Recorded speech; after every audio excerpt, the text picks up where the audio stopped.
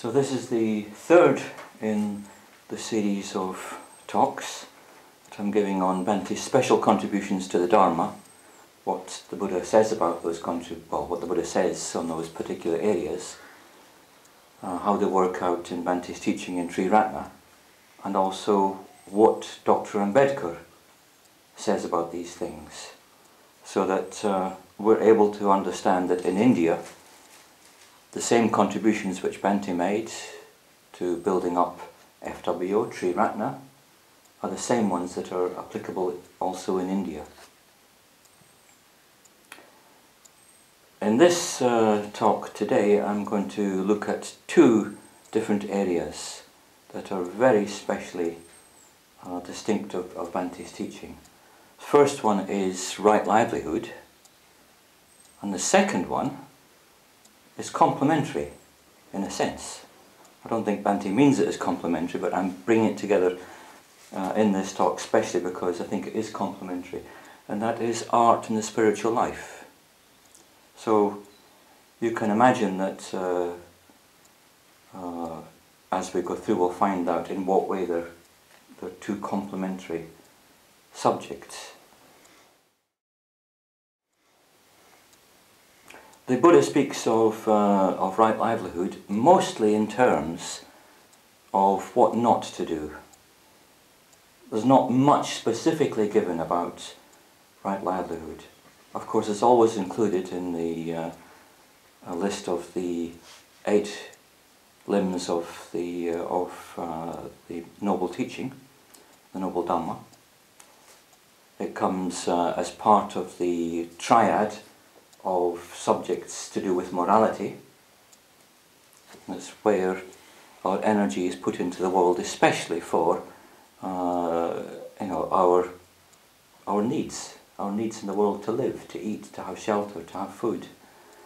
So uh, the Buddha speaks in terms of uh, not engaging in five things, not engaging in trading in weapons in trading in human flesh, in trading in meat, in trading in toxicants, and in trading in poison.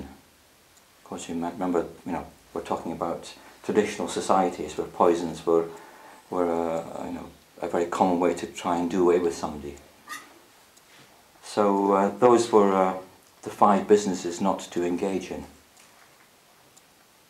But there are other examples uh, in, in other suttas where he does speak about positive things to, to you know, be there in your, in your world. So he speaks about the, the qualities necessary for uh, developing and maintaining your uh, financial status.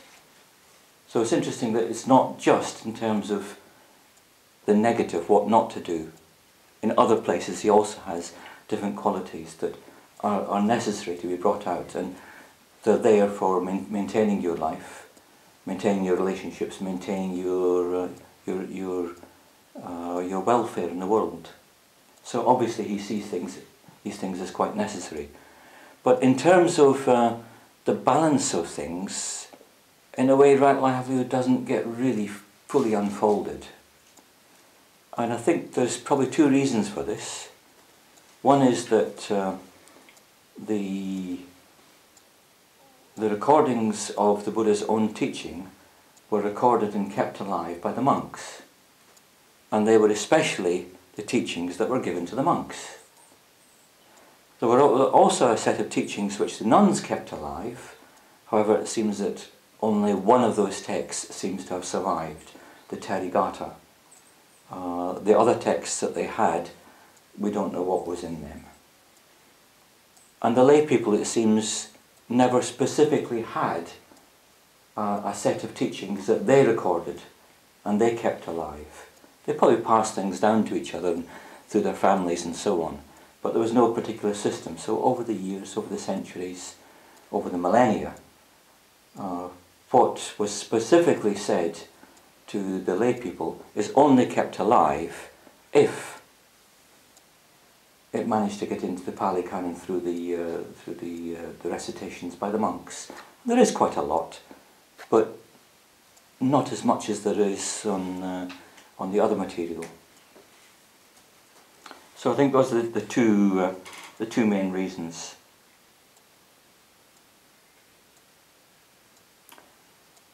So when Bhante set up uh, Triratna in 19, well FWBO as it then was, later became Triratna, uh, in 1967, uh, he did give talks and in 1968 he also gave talks when the order was founded and uh, if he spoke in terms of right livelihood it was just the traditional.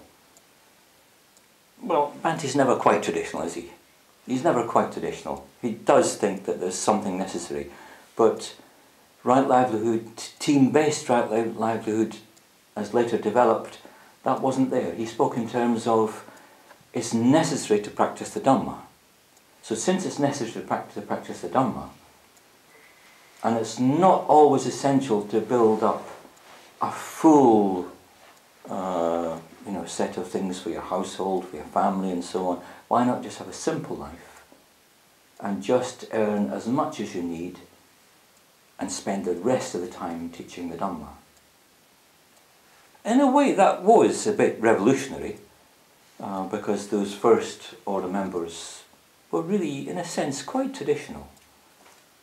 Um, only a few of them were not embedded in family lifestyles already, some of the younger ones.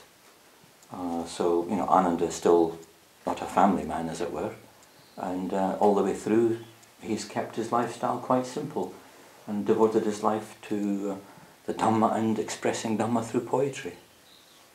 Not just poetry, also prose. He's written three science fiction novels. So, uh, yes, he's, he took that principle to heart. But uh, when I came along in 1970, well, the early 1970s, mid 1970s, uh, I didn't get fully involved in, in Sri Triratna, but there were already some businesses underway. People had been living in communities together, so that was a difference in lifestyle. And it was the 1970s, the follow on from the hippie era, and people thinking, well, they don't have to have a conventional lifestyle. They don't have to get married. Don't always have to have children. Don't always have to have a nine to five job. In fact, many of them didn't have nine to five jobs. In fact, many of them had no jobs. So, uh, what was to be done with their time? Quite a number of them put their, their time into teaching the Dhamma, uh, running the few centres that we did have. But some of them began to think in terms of starting up livelihoods to earn money to support the Dhamma. And uh, there were a few early things like Friends Foods down in, in, uh, in London. I don't know if they were called Friends Foods then, seem to remember that rainbow seemed to come somewhere in that. Um, and I think Ratnaguna was one of the very first to start up something like that. A little bit later on we had uh, Friends Typesetters, we had the Golgonooza community which was doing typesetting and art and design and so on for magazines. We had um, uh, uh, Vajra, Vajraketu and I think, I'm not sure which who came first, Vajraketu or Kulananda. Uh, but yes, starting off a little bit of gift trading from the back of a, of a small van. Very small van, not a big van, a small van. And that van would purchase things, they would travel around and sell in the markets and so on, sell to sellers. And then somebody else joined, Buddhapalita joined, and then it got a little bit larger and then they had to have a bit of a warehouse, and then the warehouse got larger, and then they had to have an, an accountant, and as the years went on, uh, that became uh, proper windhorse trading. And uh, as we know that over the 30 years or so that it was going, it uh, earned millions and also donated, we could say millions. So yes, during that time the whole philosophy of right livelihood was, was developed much, much more thoroughly. Partly by Bhante thinking the issues through, partly him giving talks and question and answers and a few seminars here and there, partly by the people who were starting up right livelihoods themselves thinking through the issues, what was necessary. So if you had, you know, if you had a dozen people in a business, and this one was married, and that one was not married, and this one wanted to get married, and this one already was divorced, but she had a family, and well, how, how would you support them? What, what would be the principles? Do you give them all the same salary? So they had to work out all those things uh, right at the very beginning. And interestingly, uh, I, I think most of the centres aimed at having the traditional triad of three legs to stand on. Community, centre, and co-op, co-op being short for cooperative work. And uh, that later became team-based right livelihood, TBRL, but in the, in, in the original summing up it was the C, the third C, the co-op. I remember in Manchester that uh, we tried a bit of gardening, we tried carpet cleaning, we tried uh, we tried a few things, but nothing really seemed to survive. Maybe partly because my heart really wasn't in it, and I didn't really manage to get uh, a team-based right livelihood underway. And I remember going to Bhante and saying, I, I feel quite disappointed about our centre. Um, and he asked why. I said, well, you've said that, you know, our centres should really be standing on three legs, co-op, community and centre. And I, I, I don't have a co-op and I feel that we're lacking and I don't know what to do about that. He thought for a moment and said, yes, but you don't always need three legs to stand on. Human, human beings stand on two legs and your centre is managing on two legs. We had more than one community, in fact. And he said, eh, you know, you're already bringing people into the, into the Dhamma, uh, they're getting involved, and they're going to other centres afterwards uh, for their, their work experience. So that's also in bringing in people to Dhamma and giving them a direction. So that, that did uh, help me put my mind at ease but I knew it could only continue for so long because not everybody wants to leave to go to Cambridge to work in Windhorse, to go to London to work in Friends Foods, or to go up to Glasgow to work in Friends Gardening. Some of them want to stay in their own hometown and teach the Dhamma there, but also to have some means of, of, of livelihood. Eventually in Manchester, yes, they did get businesses underway and uh, some very successful businesses too. So yes, Bhante's uh, approach to right livelihood in a way was a developmental uh, approach that as things were needed, he encouraged them and tried to unfold principles. Uh, the principles that, that he unfolded over time were work according to the going for refuge, in accordance with the precepts, uh, work as a team, in other words, through harmony, and work taking responsibility, initiative, and accountability. now, I'm sure he said a lot more than that, but uh, those were some of the main things that he said. But one other thing that he did say that didn't really sort of get into the official annals, and I'll, I'll mention it now because I think it's worth saying. I'm not sure how it will translate uh, to our uh, viewers in India, but Bhante had a little aphorism. Work is the tantric guru. So what was the tantric guru? Well, tantric here doesn't mean Vajrayana type guru. It means the guru who faces you with what you need. That's what a tantric guru is. Somebody who just faces you, points you in the direction, and just gives you a little bit of a push towards what it is you need next in your spiritual life. And doesn't let you away from it. When you try and turn your way, he'll sort of turn your head back so that you're looking at it, and you try and avoid it again, and he'll. The Tantric Guru always makes sure you're facing towards those issues that are necessary. So if work is the tantric guru, work is the thing that keeps you faced, keeps you pointed in the direction of what you need. And why? Because you're working with other people. They don't let you away with things. You're working with a business, so you have to have accountability. You have to take responsibility. And everything's not written down in rules, so you have to take initiative. And you take initiative and you think, oh God, what the heck is this going to lead towards? And you realise, well, I've, I've taken this direction, now I've got to take responsibility for it. And then you have to own up to afterwards, well, I took this direction because of such and such, and other people, well, they may approve, they may support, they may disagree with what you did. And you have to live with that. And you have to gain your experience through that. So, uh, this is uh, one of the things I think is very valuable, Bhante saying that work is the tantric guru. In, in a way saying that, well, you might think the Vajrayana is the place where you're really going to develop. You might think Tibetan Buddhism is it. You might even think that the Tantra of Japan uh, is going to be the, uh, the, the thing that will help you develop. He's saying work, work.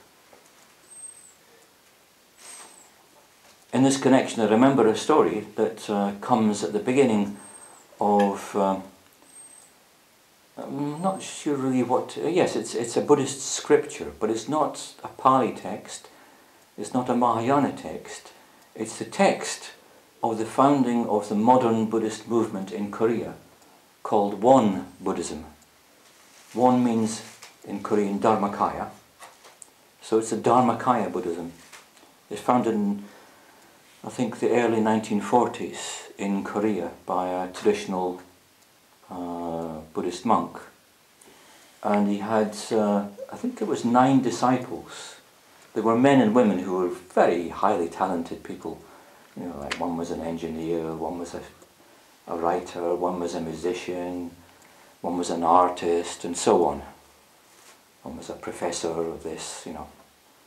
So he, he established his Buddhist order and he ordained them, rather like Bhante and his 13 disciples at the, at the beginning, or maybe it was 12.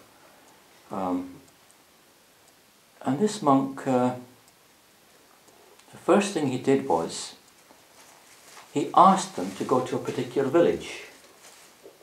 And he said, This village needs a dam. Your task is to build the dam. Come back to me when you've done it.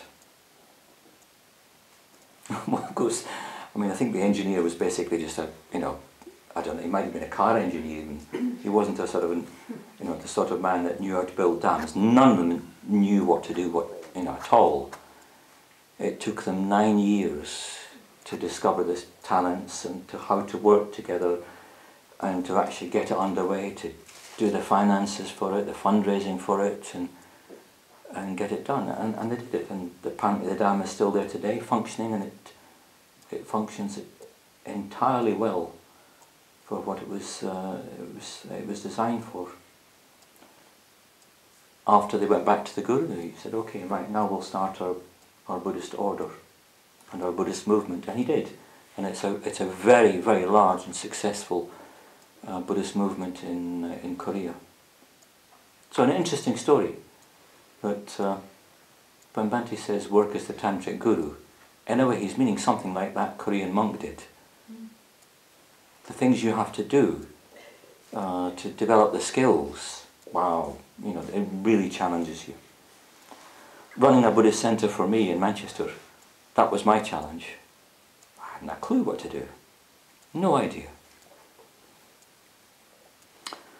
Uh, Dr. Ambedkar's approach. Now, rather different because, in a sense, different because uh, he died so soon after he converted to Buddhism. And he did have plans and ideas to work with his people help train people to uh, train his community. But unfortunately, uh, yes, with him leaving so quickly from this world afterwards, that part of his teaching, like many others, wasn't really very well developed. Uh, but he does say some things that are, you know, entirely in line with the Buddha's own teaching and, and the way Bhante was going? Well, first of all, he himself was an example of somebody who worked in right livelihood. He worked basically for the betterment of his people, and he spent his whole life doing that. And under extraordinary odds, uh, just unimaginable in a way, just how he could have done what he, what he did. Um, and he encouraged others to, to, to do you know, what he had done. He thought he wasn't the only one that was possible to do it, that others should do it. He hoped for his, his lieutenants would be able to carry his movement forward. Uh, some of them were you know, reasonable, and some no doubt had a lot more that they could have done. And uh, he encouraged everybody to have altruistic motivation in whatever they did, whether they were working in a field, or whether they were working in a city, or whether they were working uh, in a household work with altruistic motivation, work thinking uh, that what you're doing is for the benefit of the whole of India, not just your community, the whole of India, in fact the whole of the world. He also fought uh, the condemning of his people to, to one occupation. So of course the caste system, yes, that if you're born into this community, then you're a fisherman. So the fishermen, yes, they're uh, without caste. Or if you're born into that community, you're a leather worker. So you're, you know, very, very, uh, you're a sort of person that would pollute others because you handle dead bodies all the time. If you're born into the Mahar community, as Dr. Ambedkar was, then your caste duty was to deal with all the animals that had died, whether by natural causes or, or whatever, you know, accidents and so on. And uh, one of the benefits they could have was that they'd be allowed to eat those animals. So if a cow died, well, because the cow is a Hindu holy animal, the Mahars would have to remove it from the village or the field or wherever it was and take it away. They were allowed to eat the animal, so it seemed that the, uh, the Mahars, especially early on, were noted as beef eaters, uh, which was again one of the things that made them in the eyes of others, very untouchable.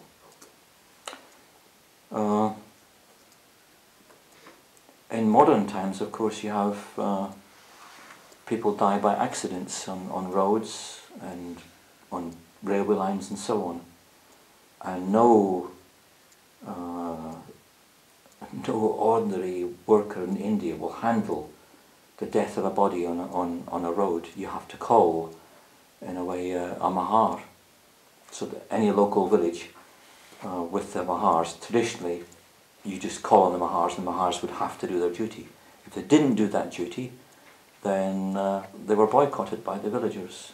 So they wouldn't be allowed to, if they had any animal themselves, they wouldn't be allowed to let that animal feed on the, on the local ground or even anywhere around the village. They wouldn't be given food by the, uh, uh the village. They'd be cut off from their water basically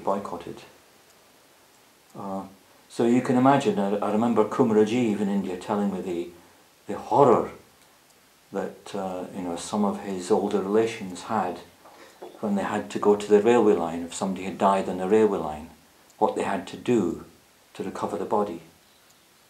Because you know the body, unfortunately, wouldn't be in one piece.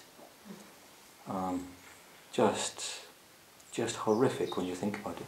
Of course, somebody has to do it, that's true, but it doesn't have to be done, doesn't have to be allocated by, you know, your caste or outcast uh, status.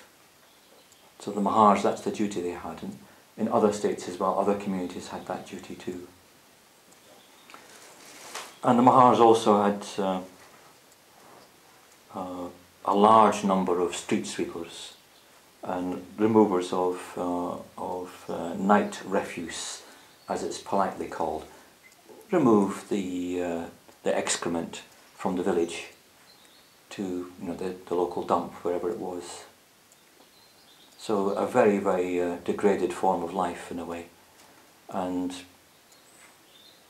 yes, the local dumps were also where they could search for things that were of value. So they go through, look for a piece of plastic, little plastic bags, a piece of cloth, a zip, a safety pin, a small piece of metal would all be taken away. So Babasaheb, Dr. Ambedkar was, was really, really uh, insistent that you don't lock yourself into thinking of yourself just as a person with one particular duty. And uh, that if, if the Buddhist people themselves, well, not just the Buddhist people, uh, if, if the, uh, the uh, downtrodden communities of India thought them, of themselves in this particular way, then they were locking themselves into that slavery that they were being forced into. So he was, Dr. Ambedkar was trying to fight it on two sides. The Hindus uh, insisting that the others were Dalits or others were Mahars or Matangs or whatever but also on the other side, Dr. Ambedkar saying to those people, no, you're not a slave. Your occupation doesn't have to stay like that. There are ways forward. But he was also keenly aware of the limitations of certain professions. Uh, very, very aware. So, for instance, he spent uh, really from the 1920s right up to the 1950s working in politics.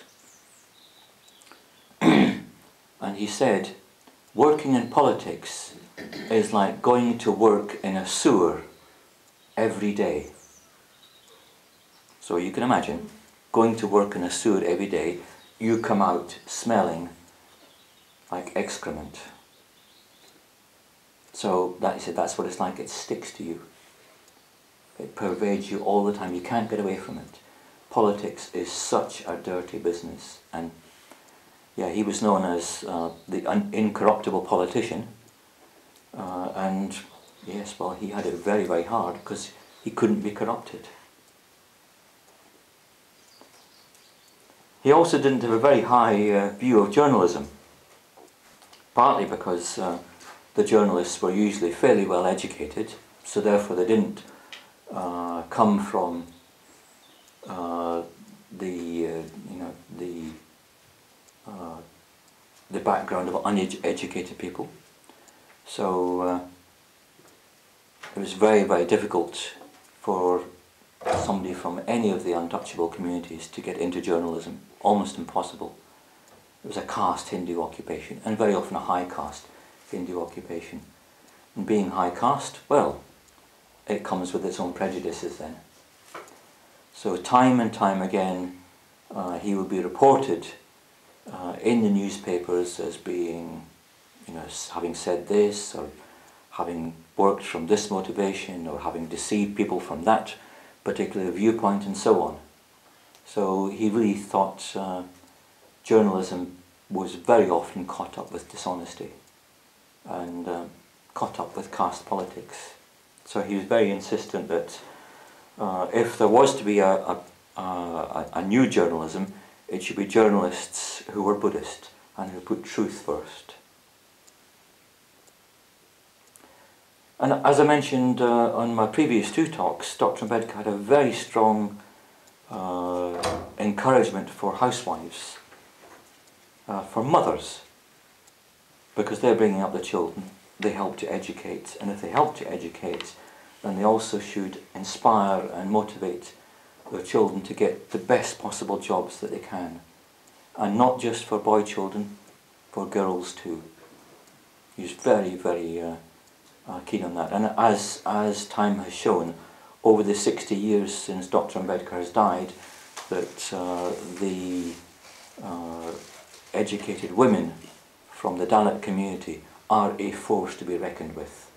In fact, they're such a force to be reckoned with that uh, you know even some of the uh, the best politicians, the most maybe I shouldn't say best politicians, maybe I should say some of the most influential and powerful politicians have been women from the uh, Dalit background. Uh, the Chief Minister of Delhi for four times, uh, Mayawati, she was uh, from the untouchable background excellent. She's got her critics, and maybe she has her limitations too, um, but it, it, it shows what can be done. So yes, I think Dr. Ambedkar's approach is that uh, you know work honestly, work ethically, uh, work so that uh, you're not mentally slave bound to your previous background. So I don't think anything of what uh, what Bhante speaks of in terms of right livelihood goes against what Dr. Ambedkar thought. And I don't think anything that Dr. Ambedkar was pressing for is against the Buddha's own principles or out with our understanding in Triratna. Hopefully in time, uh, team-based livelihoods will start up in India. We already have some Buddhist businesses in India. We, uh, when I left India, we had a Buddhist bank. I don't know if it's still going if it's survived the bank crisis that went around the world, but we had a Buddhist bank. We had women's cooperatives, we had uh, sewing circles to help uh, women learn how to sew, to uh, make garments that people need and to market them. Uh, working for uh, uh, educating young children in hostels and so on. So yes, things are underway but it's a huge community of millions and we've got a lot further to go. A lot, lot further to go.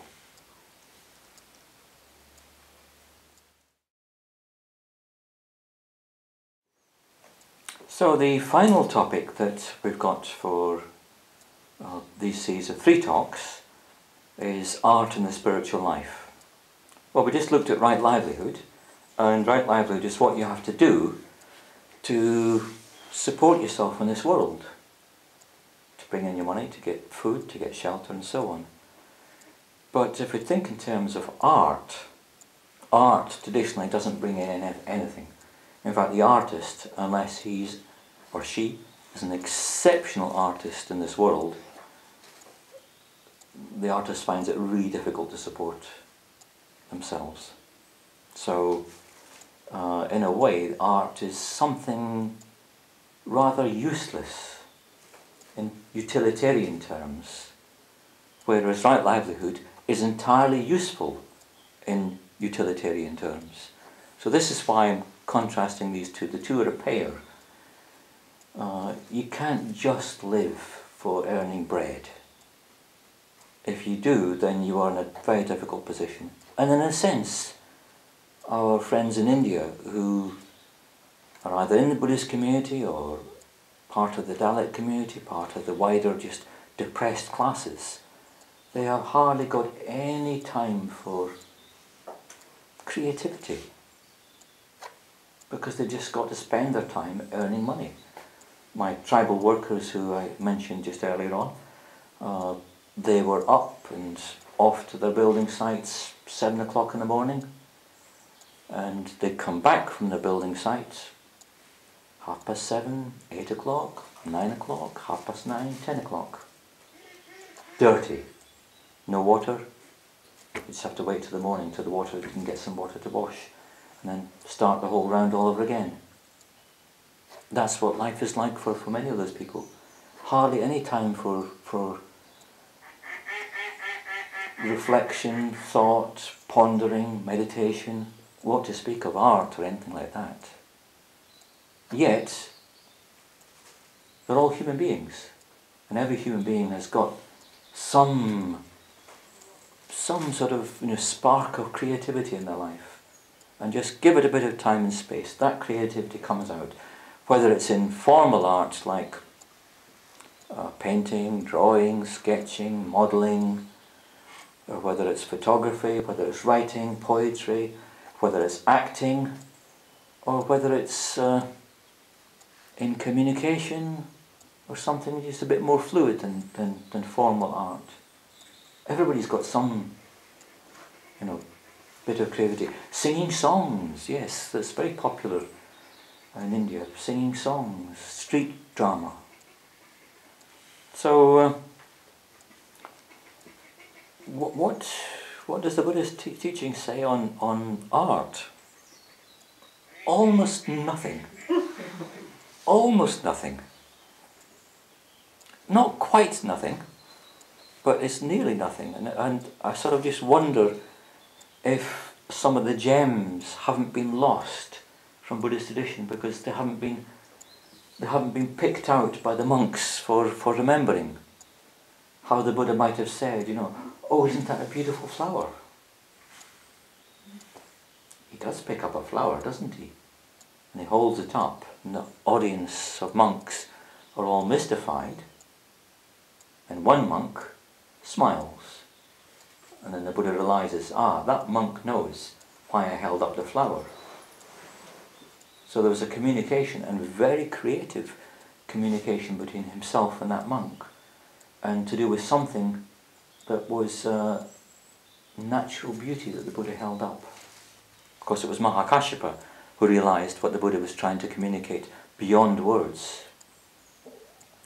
But I think, you know, there are very, very few stories like that in the in the Pali texts. But there are just one or two things. Uh, so, for instance, uh, there was the wonderful community of the Lichavis who had a, uh, a, a, small sort of republican state, and sort of a republican oligarchy, rather like the Shakyan tribes. And the Lichavis were famed for being very, very beautiful. And, and the Buddha praises their beauty. In one of the suttas, luckily, he says that and it's kept alive. It, it didn't get dropped from the texts as being, as being extra. So the Buddha praising the beauty of the Lichavis. He also uh, praises Vangisa, the monk, who can put things into beautiful words. So I, I looked up the story of Vangisa and gosh, it was very interesting. So uh, it seems Vangisa is famed for just spontaneous verse and uh, a bit uh, maybe a bit like a rap artist nowadays that uh, you know you give them the, the, the, chance and they have these sort of um, uh, what do you call them du- uh, duels yeah duels they have these duels so uh, somebody will rap spontaneously in rhyme for two or three minutes and then hand over to the partner and the partner has to rap back. And gosh, they're amazing doing it. Well, it seems that, you know, rather like that, maybe not in competition, but Vangisa, if he was given a subject, he could just do it like that. And the Buddha asks, well, you know, give us some words on such and such, and oh, out come these, uh, you know, verses, two, three, four, five, and then all the monks and Buddha says, well, that's wonderful, that's wonderful. And Buddha asks, did you compose these in advance, or did they just come spontaneously? And Vangisa says, they came spontaneously, just now.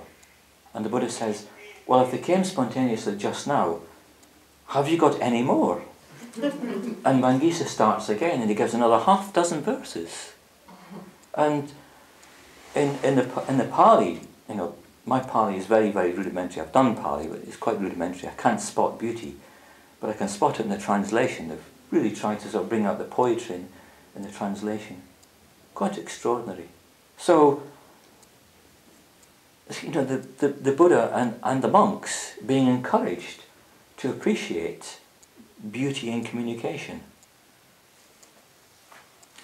There's also a, a time when the Buddha uh, has uh, an interaction with a Gandharva, and a Gandharva is a, is a, a heavenly spirit. Um, now, whether you believe it's a heavenly spirit or not doesn't really matter. The Buddha may have been sound asleep. He may have been dreaming. He may have dreamt of this Gandharva. But the point is what happens. So the Gandharva sings a song. And the Gandharva's song delights the Buddha. And the Buddha praises the Gandharva uh, for this beautiful song. So interesting that, you know, you've got the, uh, the monastic uh, uh vows which go Nacha Gita Vadita uh, no dance, no song, no, no drama. But here's the Buddha appreciating the song of Gandharva. So yes, something elevated, not some of the, you know, just ordinary rough, uh, local sort of, you know, uh, song and dance that you might get in a local pub. Not that sort of thing. And then also uh, we have to remember that the Buddha is accused of saying that everything in this world is ugly. And the Buddha says, I never said that, Ananda. Ananda, I did not say that. What I did say was, I can show you what is really beautiful. Which is what he does, that uh, he, uh, he shows his cousin, Nanda, the heavenly nymphs, doesn't he? Stretches out his arm and transports Nanda up into the heavenly world and says, Look at these nymphs, aren't they beautiful? If you meditate, that beauty, that high level of beauty, that is yours. Compared to that, everything else is ugly. So he didn't say that everything is ugly, he said he'll show what true beauty is. And in defending himself against saying everything is ugly, he says, No, I show what is truly beautiful. So yes, uh, we've got uh, those instances. These are just the ones that I've managed to uh, to to find so far, and I wonder if you know a further systematic, deep mining of the Pali texts might not bring out a lot more things that others have missed. I think it'd be really worth going through the uh, the uh, the Pali teachings for that. In the Mahayana, of course, Dhamma is taught through beauty, and it's the beauty in a way of the sutta itself. And sometimes the uh, the beauty is not. It's not even a rational beauty. It's beyond. It's not irrational, but it's non-rational. It goes beyond just uh, conceptualization, and, and it's uh, done. You know, say for instance, in terms of uh, you know, the displays of, of magic. For instance, in, uh, in uh, Vimalakirti's house, his house transforms. Uh, no, it's the, it's the lichavis, the beautiful lichavis come with their parasols, don't they?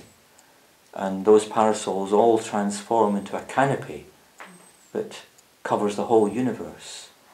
And uh, Vimalakirti's house becomes so vast that it's able to contain all that.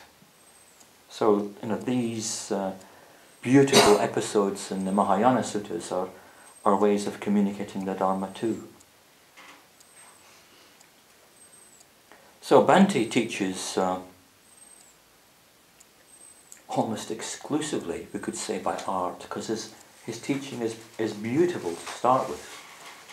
Whatever he does, he tries to give it in a creative way and in a beautiful way. But art itself, traditional art, the arts, have been very, very close to Bhante's heart right since he was a, a small boy. Last year, while Paramartha was away in New Zealand, I sat with Bhante almost every night. And uh, twice a week, Bhante would write a letter to Paramartha. And twice a week, Par- Paramartha would reply. But the other nights of the week, and sometimes if he had time after the letter, Bhante would give me some dictation.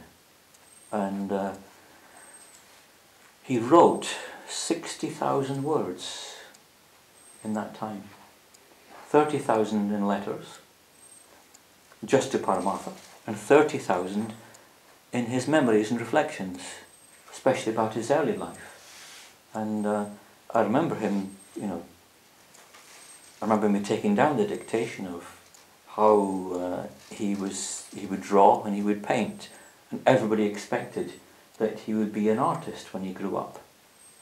They talked of him in the terms of an artist, and he told uh, what it was that he he he, he painted, and uh, described even what he painted. None of them have, uh, those paintings have survived from that time. Um, but although everybody thought he was going to be a painter, uh, what he spent the rest of his time doing, the family didn't really know because he spent a lot of his time writing poetry. And uh, he thought of him he thought of himself in terms of being a writer. but he was rather shy of showing his poetry. He showed it to uh, a young girl next door who looked at it and didn't seem she was very impressed. So he then didn't show her anymore. In fact, he didn't show anybody else any more poetry, not for many years. Not until he joined the Buddhist Society in London, when he showed the General Secretary, uh, Clare Cameron, his, some of his poetry, because she was a poet, and she really encouraged him. So he's written poetry right since he was a boy, he's painted, he's drawn, he's written some, uh, he wrote an early novel, he wrote A Life of the Buddha when he was just in his early teens, and he's written ever since, hasn't he? And he's visited art galleries, he's bought art, he's criticised art, he's critiqued poems, critiqued novels, and so on and so on. So for him, it's, it's, a, it's almost like he lives in the world of art.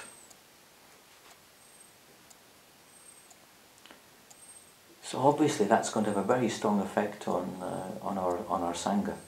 Such a strong effect in a way that one of my friends in London says, well, actually he wasn't quite so sure about our approach in, in the Sangha because he said he's a bit more of a scientific temperament rather than an artistic temperament. I said, well, you know, it doesn't mean that science hasn't got its place, that concepts and thought and logic and so on doesn't have its place. It means that art does have its place alongside all that. It's not in opposition to. So yes, uh, Bhante's position, as I'm sure you know, and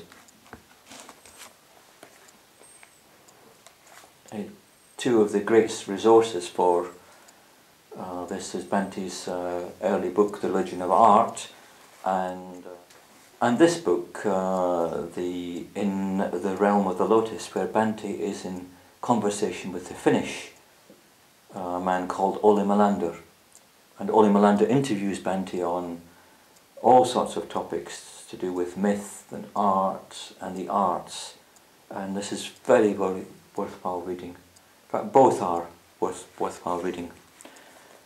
And there's other material also in uh, the Essential Sangharakshita. There's a whole section just on art. So yes, Bhante uh, points out that uh, nowadays, uh, well, originally, uh, religion was the medium for communicating vision. But at some point, religion, especially in the West, ceased to be the medium that communicated higher vision anyway, higher ideals. And I believe it was Middleton Murry that said uh, that with the Reformation came the birth of the of, of literature. It's interesting to think that he that he saw that that he he thought that religion begins to die in a, in a, in a way. The conventional religion in the West begins to die when uh, the Reformation comes in, and that the energies from that don't go into Protestant uh, religion, then start to go into creative literature, uh, especially the novel, especially essays, especially uh, all sorts of you know other artistic forms. So uh, Yes, uh, that was quoted by Bhante in, in, in one of his, uh, his essays. And uh, religion was the, the thing that, that sought to expand awareness, and it was also the thing that had the spirit of altruism behind it. And art, in Bhante's view, in art in the, in the highest sense, fulfills all those. It has a vision, it has the, uh, the dimension of altruism, it tries to expand awareness and it contains all the higher ideals. Bhante himself tries to give a definition of what he thinks art is. It's very, very much, it's a very contentious uh, uh, definition.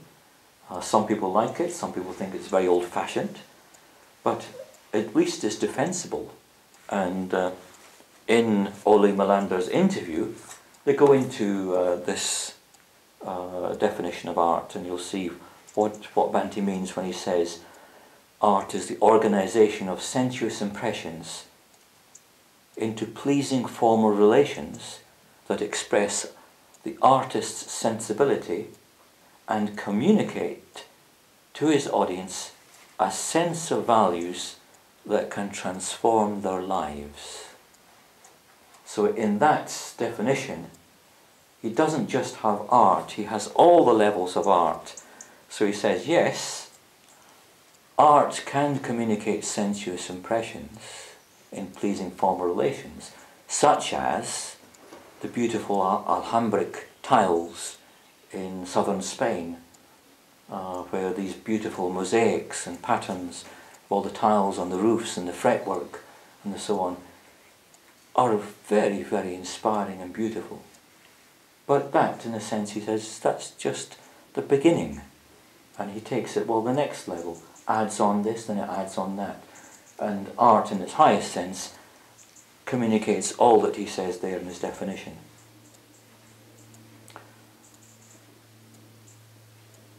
In terms of, uh, of uh, art and the spiritual life, Bhante says it's the key to emotional engagement with our ideals.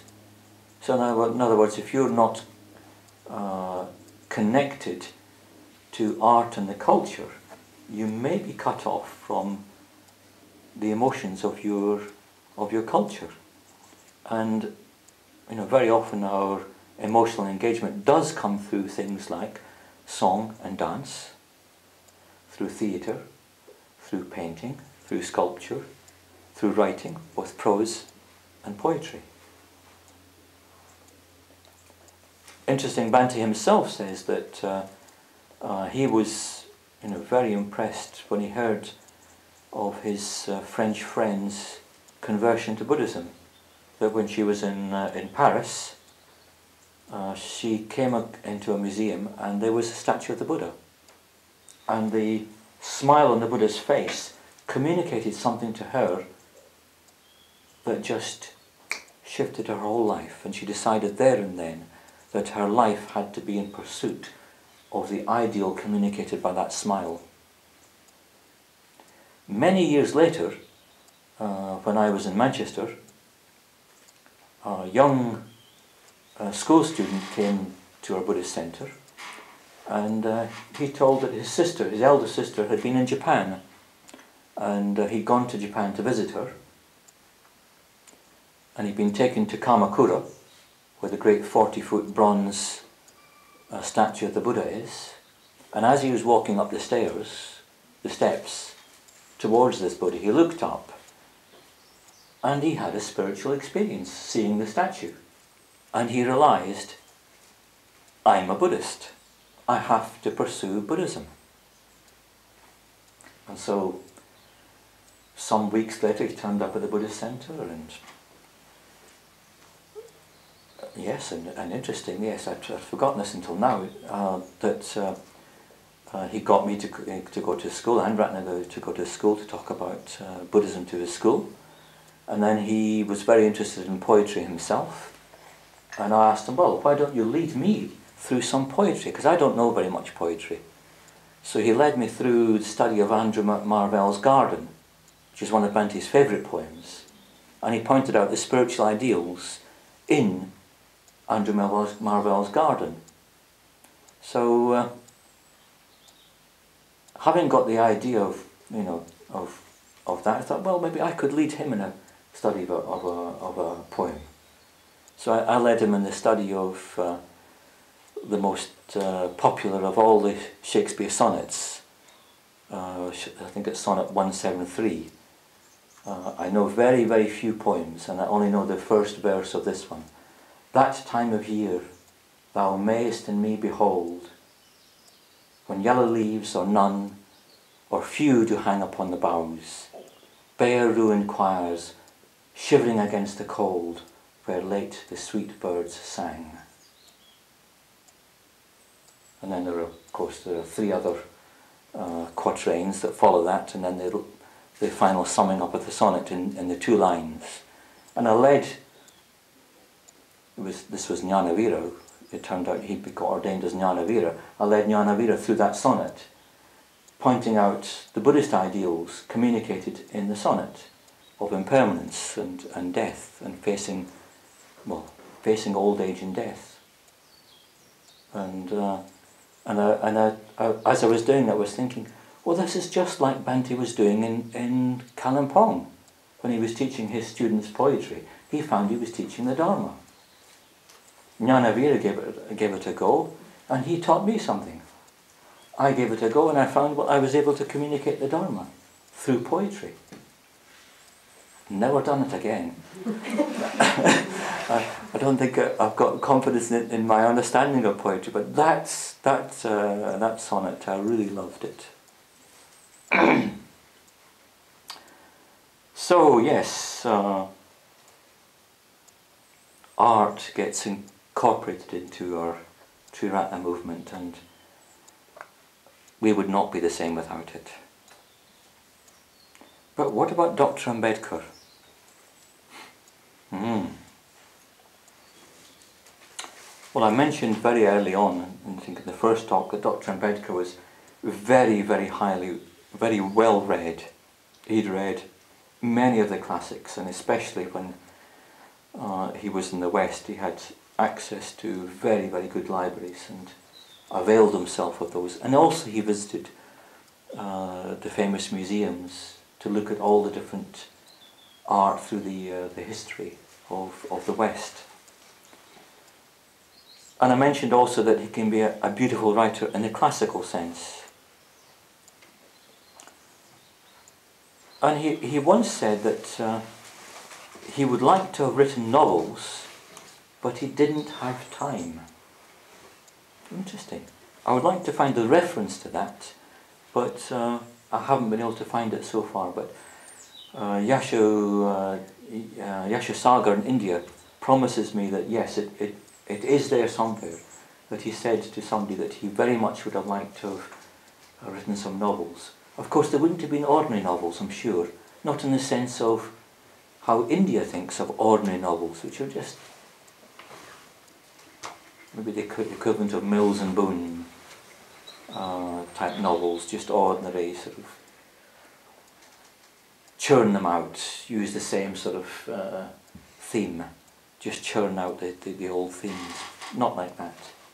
He would have communicated something about the lives of his people and how difficult it was and ways forward and how to uh, how somebody would find their ideals in life. Oh, but uh, he did write some very beautiful things. And I had a look in the Order Library just a few days ago, and he wrote a little piece called uh, "Waiting for Visa," and it's about about his his early life and him going to the uh, to the West getting education and coming back to the state of Baroda and the difficulties he, ha he had in Baroda. It's a beautiful, beautiful piece. Uh, not at all sort of uh, clumsily written, quite elegantly written, well expressed. And uh, Bhante makes quite a big thing in his uh, Ambedkar and Buddhism book uh, of Dr. Ambedkar pointing out what his ideal would be like for a Buddhist Bible. Well, the Buddhist Bible, as you know, uh, his uh, attempt at a Buddhist Bible was the, what was called the Buddha and his Dhamma, and I mentioned that it's, in a way, it seems quite unfinished, not, not highly polished, and almost certainly because he didn't have enough time to do that. And we know that he probably didn't have enough time because he says, and, and Bhante quotes in this, uh, in this text here, Ambedkar and Buddhism, that uh, Dr. Ambedkar pointed out some qualities that were necessary for a Buddhist Bible. This should be, it should be inspiring, written in elevating words, words that lift you up and lift you into another dimension. So he's obviously got uh, uh, an idea here that just a rational text is not enough. And he, speak, he, he, he compares uh, uh, what a Buddhist Bible would have to have to, to something like the Bible, the you know the James the Sixth, uh, sorry James the First. I'm a Scot here. the James the First Bible, James the Sixth of Scotland. Um, that uh, that communicates in such you know uh, dramatic, poetic, inspiring, challenging language that it lifts you out of yourself at different places and puts you into another space. So he, he, he, he tries that in a way in different places in his text, and uh, I'm sure he would have gone a lot, lot further. He may even have thought that, that he might not have had enough uh, to uh, enough skill to do it for his own text. He might have hoped somebody else might have done it, but uh, it's certainly an ideal that he did have. Dr. Ambedkar also appreciated and played the violin. So he liked music and he could play the violin. He taught himself to play the violin. Uh, I don't know if there are any recordings available of him doing that. I don't think so. Certainly uh, a little recordings of him having given speeches, but not of him playing the violin. And uh, he was very moved by the art of the ancient Buddhists. So he would go to uh, different places that where there was traditional art, especially the Buddhist caves of, of India.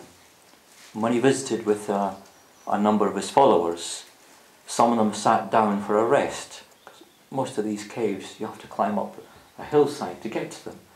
You get up to the top of the hillside and you're sweating and the sun's pouring down.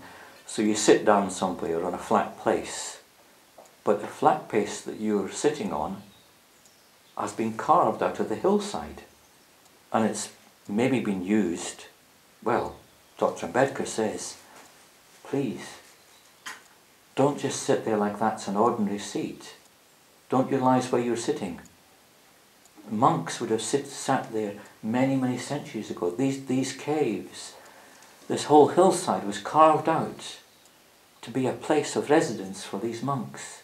This is a place of inspiration. So don't just sit on that, on that seat like it's an ordinary seat.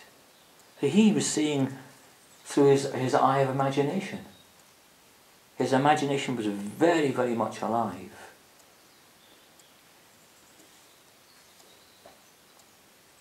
I don't know if he went to see uh, the, uh, the, the, the, painted caves uh, of Ajanta, but certainly he would have seen the carvings. Uh, he would have seen the carvings at Karla, at Bhaja, at Aurangabad, at Ellora.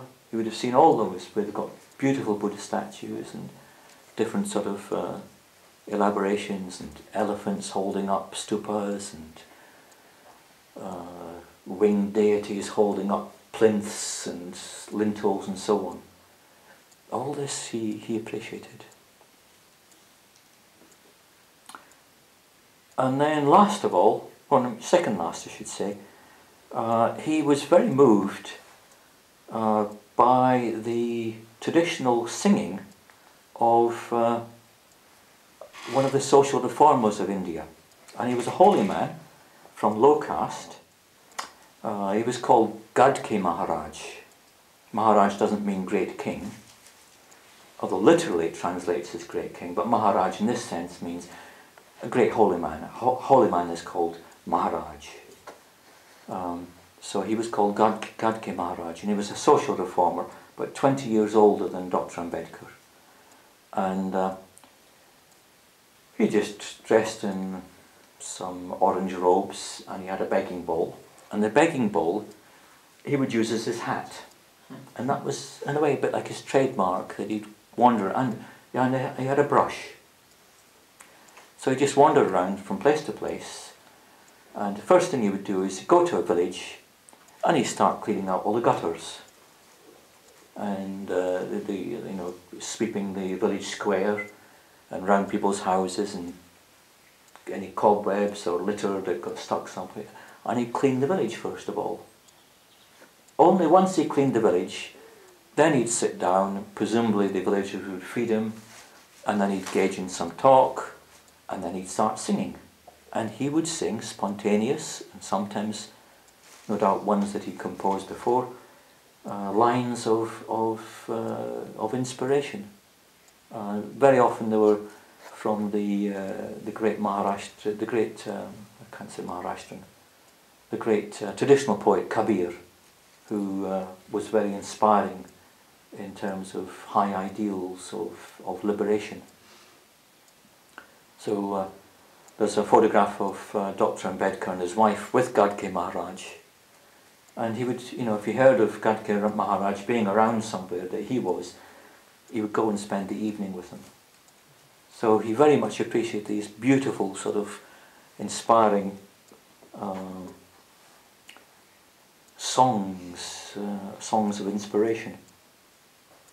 Last of all, uh, of course, Dr. Ambedkar set up uh, uh, at least uh, two colleges, one in Bombay and one in Aurangabad, and uh, the one in Bombay was called the uh, Siddharth Institute of Arts and Sciences.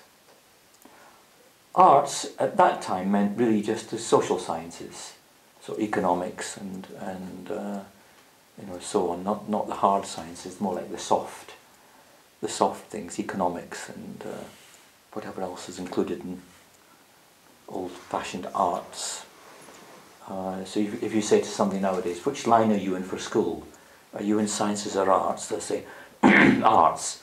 So they're doing economics, history, uh, social sciences, uh, accounting, so on. If they're doing sciences, they're doing chemistry, physics, maths, and so on. Uh, but nowadays, uh, I believe that in in both the colleges, in Aurangabad and and Bombay, then fine arts are also included. So Yes, we have uh, Dr. Ambedkar wasn't able to go very far himself. Uh, he was spent his whole life sort of in, in really trying to sort of pursue the political line, fails with the political line, was political and social uplift, fails with that and turns to the religious ideal in the end as being the final sort of uh, way forward. Uh, I'm sure if he'd been around longer we would have seen a lot, lot more from him. Uh, having read a lot, a lot, of, lot of what he's written already, I can see that uh, he would have uh, he would have polished much, much more the Buddha and his Dhamma, and he would have encouraged others who were artists too to use their skills to communicate the Dharma, much as we are doing here in the, in the West, and much as we're trying to communicate uh, the Dharma in, in India, where we've got drama groups that are trying to do theatre, which communicates the ideals of, uh, of the Buddha. Uh, we've got painters who are Buddhist painters, sculpting Buddhas, uh, painting from the themes of their own life, as being from the Dalit community or uh, being from a tribal background, and so on. So, uh, yes, I'm sure that uh, the Buddha would have approved himself of the direction that we're going in. And with that, I'm going to uh, just sum up uh, very briefly the last three talks. So we looked at, first of all, going for refuge, uh, the spiral path or the uh, especially the 12 links of, of uh, conditionality and higher evolution. And those three formed a set. Then we looked at, uh, hmm, what was our second theme? Then we looked at Kalyanamitrata and individuality. Yes. And then last of all, today we've looked at uh, right livelihood and art what you do for your, your necessary uh, living conditions in this world and what you don't need for it, what you need for your inspiration. And these, uh, these uh, seven topics go to make up seven of Bhante's eight great contributions to the Dharma. There's one more, and I believe you haven't guessed yet what it is. so I gave a little hint today, but you didn't quite pick up on it maybe. So I'm going to tell you what it is, and I'm going to tell you when I'm going to give that talk. I'm going to give the final talk in this series uh, on the uh, later on, probably the uh, on the 14th uh, of October, the conversion day of Dr. Ambedkar to Buddhism. Uh, and I'm going to look at this last great contribution in terms, just as I've done this just now, but it'll be a bit more self-contained. So the theme is myth and imagination. You might have thought I would have included it along with art, but actually no, it's a separate theme in a way. It is connected, well, just as many of the themes are, are connected with each other, but myth and imagination are, are you know, part of Bhante's great legacy to us. That uh, he outlines that yes, not everything can be, can be communicated in uh, rational terms. It has to be communicated sometimes through symbols, and where you have a set of symbols uh, making up a, a, story or a drama, in a sense you have a myth. And spiritual truths are often communicated through myth. However, Babasaheb uh, is counted as being the anti-myth historian, which is very interesting because Bhante is a historian too, loves history.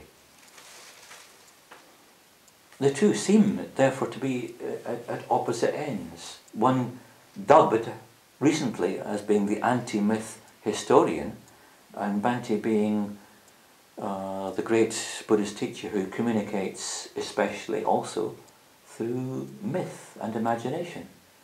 So I want us to look and see, is it actually as it appears or is it not? Is there something more that we can get out of Dr. Ambedkar that hasn't been got out so far?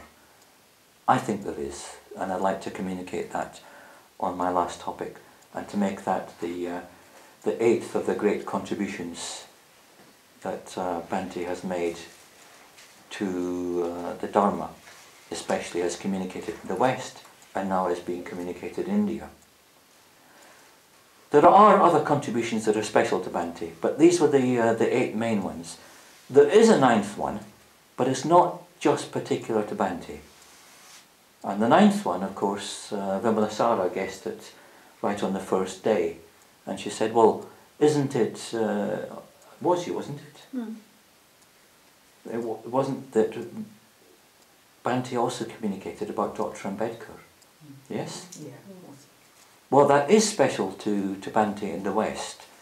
Our own Sangha is the, almost the only Sangha uh, in the West really emphasizing the place of Dr. Ambedkar uh, in, in world Buddhism. But there's one other place that does it. Of course, all the Buddhist movements in India who are Indian, they also do it.